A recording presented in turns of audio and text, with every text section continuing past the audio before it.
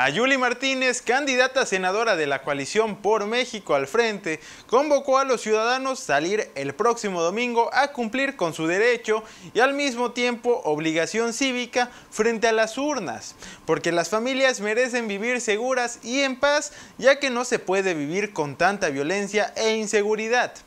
Previa a su cierre de campaña durante la Caminata de la Victoria, en Chetumal, Mayuli Martínez reafirmó sus compromisos para bajar el precio de la gasolina, que ningún joven se quede sin estudiar por falta de recursos y sobre todo recuperar la paz y la tranquilidad.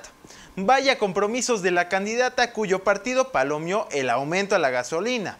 Y como integrante de la decimoquinta legislatura, en ningún momento apoyó a la juventud y habla de devolver la paz y la tranquilidad al Estado cuando su partido es el que lo gobierna.